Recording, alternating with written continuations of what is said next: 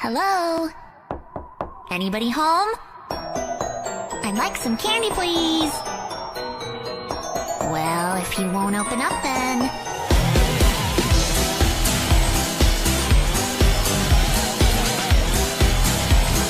Trick or treat!